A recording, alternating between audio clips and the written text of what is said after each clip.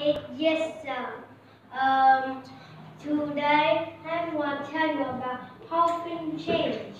Um, in every day, we use liquid, um, gas, and solid. Liquid is something we can see, we can touch, but we can't hold. Um, solid is something we can see, we can touch it, and we can hold. Hold.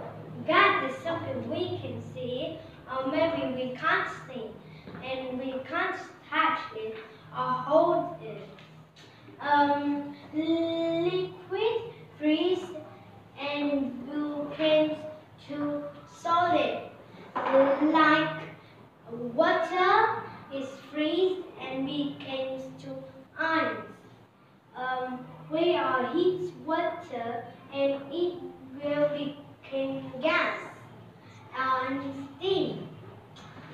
So we heat solid and it will become liquid like we uh, have an ice and we are heat it up and it will melt and becomes to liquid.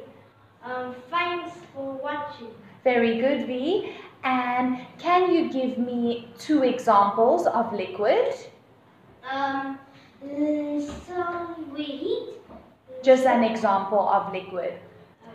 Um, we have solid and we have um, water and we freeze and we have freeze and we it will become ice cream. Okay, Vy. So I just want you to give me two examples of a liquid, a solid, and a gas. Um, we have water and we freeze it and it will be and it will become uh, ice. We have a juice and we freeze it will become an ice juice. Okay, good job. And we have um, like oxygens, um, what, uh, water, um, we are heating up and it will become steam. Good.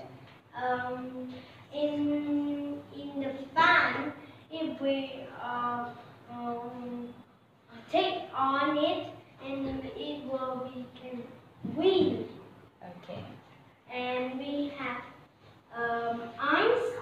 We heat it up, it melts, and it will become mm, liquid. Okay, good job. Thank you, Vy. Thank you.